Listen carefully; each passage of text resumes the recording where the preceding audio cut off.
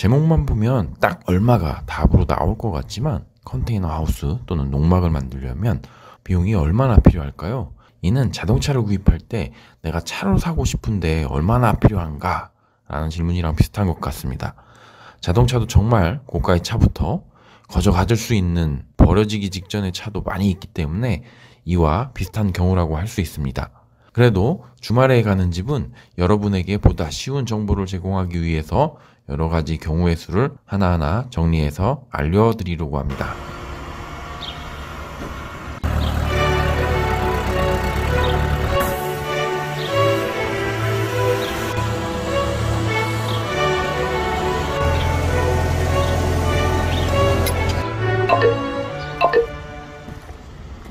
안녕하세요. 주말에 가는 집입니다. 먼저 저희 채널 영상을 지속적으로 보고 싶다면 좋아요와 구독 꼭 부탁드립니다. 오늘은 농막 생각하셨다면 또 컨테이너 하우스를 생각하셨다면 어느 정도 예산이 들지에 대해서 한번 얘기해 보려고 합니다. 도시 아파트는 일반적으로 모든 인프라가 갖추어져 있기 때문에 시설 고장 또는 파손의 리스크만 없다면 정말로 예외적인 비용이 그리 많지 않습니다. 물론 최근 인테리어를 많이 하면서 그 비용의 차이가 상당히 크게 나지만 우리가 쉽게 알수 있는 정보가 여러 가지 루트를 따라가 보면 찾을 수 있습니다. 반면에 전원주택의 경우도 이러한 변수가 상당히 크다고 할 수 있는데 농막의 경우도 비슷한 것 같습니다. 전원주택을 지을 때 평당 단가를 통해 가격을 많이들 얘기하잖아요. 그런데 무조건 싸다고 좋은 게 아니듯 그 자재, 주변 시설을 어떻게 하냐에 따라 그 차이가 정말 많이 납니다. 그럼 본격적으로 컨테이너 하우스 농막을 설치하기 위해서는 어떤 비용이 어떻게 발생하는지 알아보도록 하겠습니다. 첫 번째 토지 비용입니다. 가장 먼저 토지의 비용을 생각하게 되는데요. 토지는 컨테이너 하우스 농막을 지을 때 그 포션이 가장 크다고 할 수 있습니다. 따라서 이에 대해서는 토지 공부에 대해서 여러 가지 방법을 말씀드렸지만 자신의 토지 예산에 맞게 발품을 많이 파셔야 합니다. 이에 대해서는 구체적으로 얘기하지는 않고 이전 영상을 보셨다는 가정하에 넘어가도록 하겠습니다. 두 번째, 전용 비용입니다. 전용 비용은 컨테이너 하우스, 이동식 주택을 짓고자 하는 분에게 있어 필요한 부분입니다. 즉, 농막보다 큰 평수, 20제곱미터보다 큰 면적의 주택을 짓고자 할 경우에 필요한 부분인데 간단하게 설명드리면 다음과 같습니다. 농지 전용 비용이 있는데 이 부분은 말씀드리려고 했는데 정말 커지네요. 이유는 전용한다는 것은 주택을 건축하겠다는 것으로 전용 비용뿐만 아니라 토목 설계비, 건축 설계 비용이 더 추가되기 때문에 이번에는 넘어가고 다음번에 토지 개발 행위에 대한 비용을 말씀드리도록 하겠습니다. 그래도 간단하게 농지 전용비는 공시지가의 30%이며 상한액은 제곱미터당 5만원입니다. 즉 평당 단가로는 16만 5천원이 됩니다. 예를 그래도 들어보자면 농지 전용비를 공시지가 제곱미터당 38만원 하는 개발허가 면적 1000제곱미터일 경우 제곱미터당 38만원에 30%즉 11만 4천원인데요. 여기에서 상한가가 5만원이라고 말씀드렸으니까 1000제곱미터에 5만원을 곱하면 5천만원이 나오게 됩니다. 면적은 토지 면적이 아니고 개발 허가 면적 기준이니 이 점 확인하시면 될 것 같습니다. 다음으로 컨테이너 하우스 비용입니다. 컨테이너 하우스는 정말 그 비용의 차이가 많습니다. 이는 앞서 설명드린 바와 같이 자동차와 동일하게 보시면 되는데요. 내부에 어떤 시설을 갖추고 있느냐에 따라서 차이가 있으며 같은 시설이라도 자재나 마감에 따라서 또 그 차이가 있다고 보시면 됩니다. 저희는 기본 컨테이너에 바닥 난방, 전기 시설만 갖춘 옵션을 선택해서 그 비용이 상당히 저렴했지만 이 부분은 용도에 맞게 잘 검토하시면 됩니다. 최저 250만원에서 비싼 것은 1억 원도로 생각하시면 됩니다.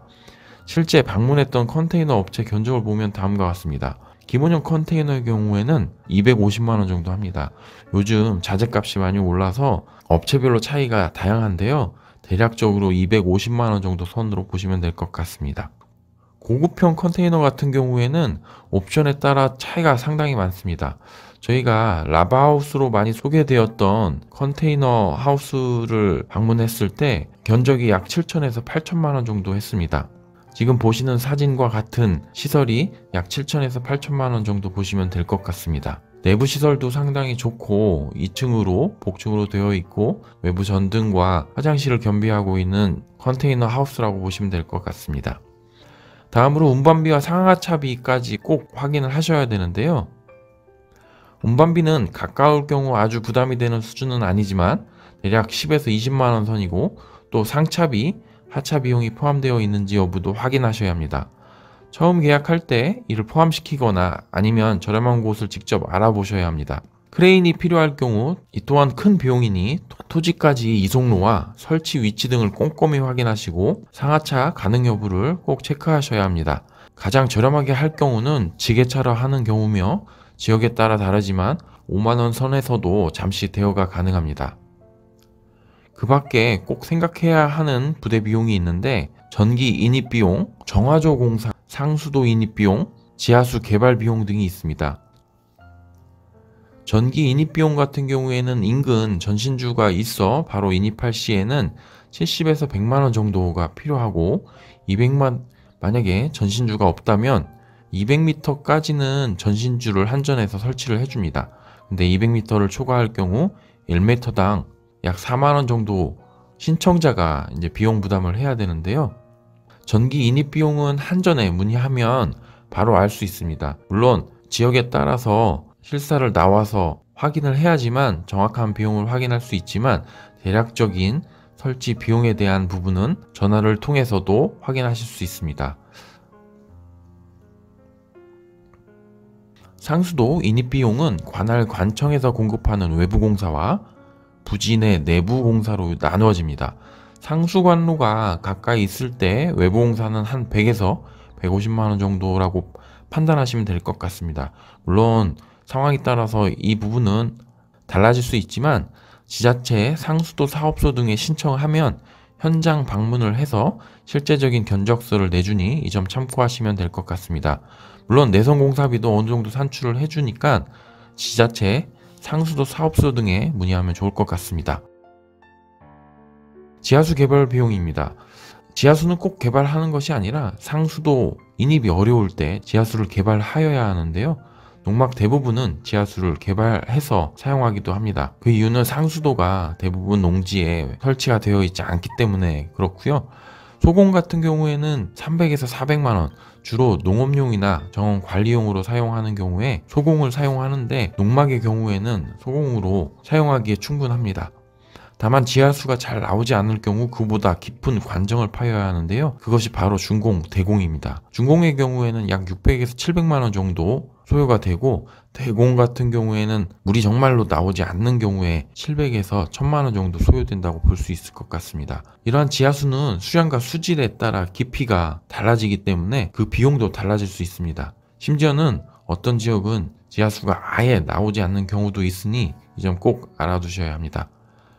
그리고 정화조 공사가 있는데요. 정화조 공사의 경우에는 500에서 700만 원 정도라고 대략적으로 산출하시면 될 것 같습니다. 정화조의 용량과 배관 거리에 따라서 달라질 수 있는데 용막을 설치하기 전에 꼭 정화조 업체에 정화조 인허가를 받을 수 있는 지역인지를 확인하셔야 합니다. 그리고 그 견적을 받는 게 좋은데요. 만약 오수를 처리할 수 있는 국어, 하천, 배수로 등이 없는 경우 정화조 설치가 아예 어려울 수 있습니다. 이는 인허가를 받을 수 있다고 하더라도 주변에 국어 하천, 배수로가 없는 경우에는 주변 민원이 발생할 수도 있고 이런 경우 문제가 될 수가 있으니 꼭 이 점도 확인하시기 바랍니다.